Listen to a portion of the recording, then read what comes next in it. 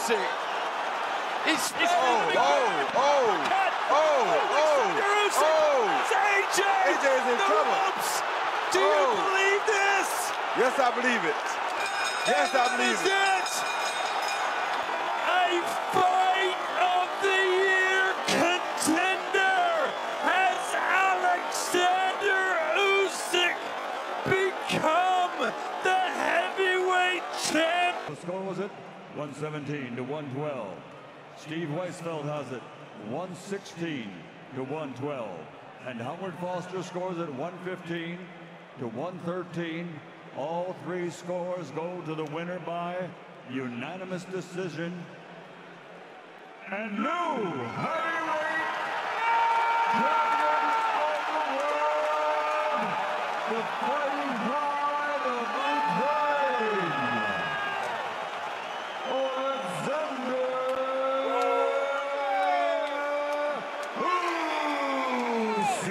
He fights for glory and he's found it.